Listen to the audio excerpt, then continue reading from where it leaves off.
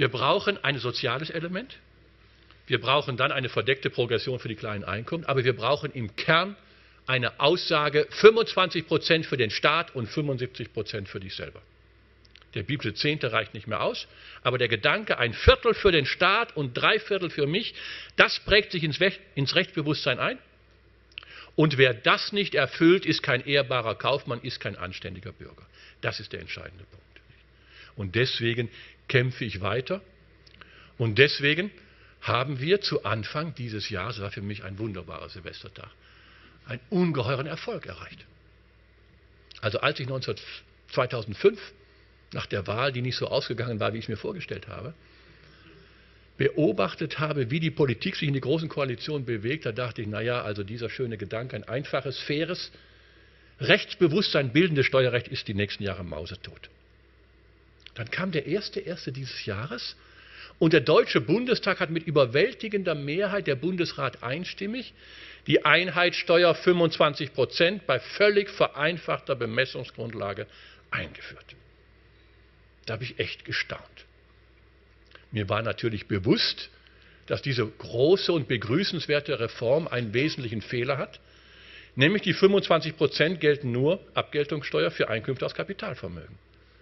Aber damit stellt sich ja für unsere Gegenwart eine interessante Frage.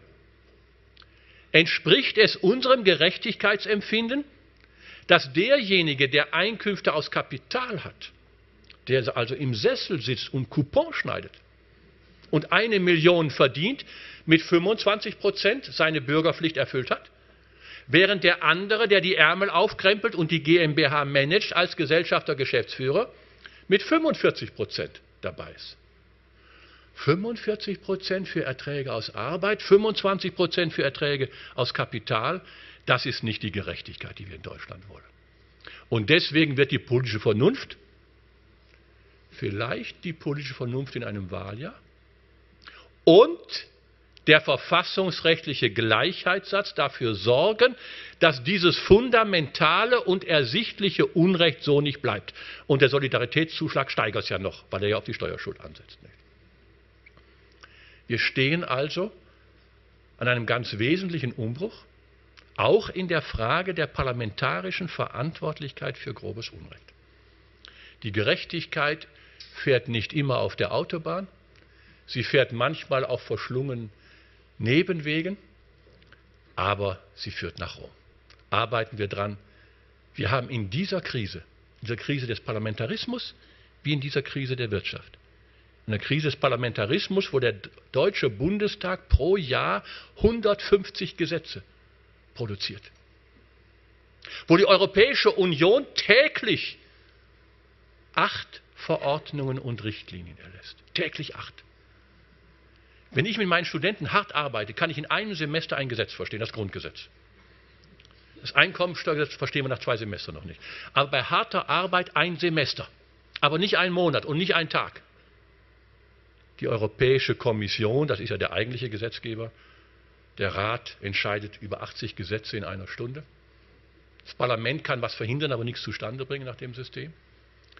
Auch dort haben wir eine Inflation, eine Überproduktion, bei der derjenige, der das Gesetz erlässt, nicht weiß, was er tut und derjenige, der es empfangen muss, es nicht mal lesen kann. Wenn Sie all das Recht lesen würden, das Sie in Ihrer Branche betrifft, hätten Sie keine Sekunde Zeit, etwas anderes zu tun.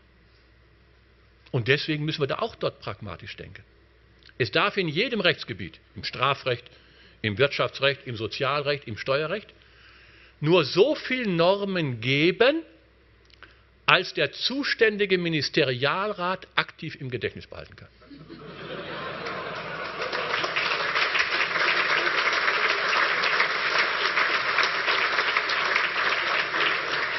Der kluge Kopf des Ministerialen als Mengenschleuse für Recht. Jetzt beginnt mir die Ministerialbürokratie wieder sympathisch zu werden. Meine Damen und Herren, wir haben eine Krise. Wir haben eine Krise im Finanzmarkt. Wir haben eine Krise im Wettbewerbs- und Wirtschaftsdenken. Wir haben eine Krise in der Nichtkenntnisnahme der Entwicklung von 60 Jahren Grundgesetz bis zum 23. Mai dieses Jahres. Diese Krise ist eine fundamentale Chance. lassen Sie uns zusammenrücken, damit wir aus dieser Krise eine Segnung machen. Schönen Dank.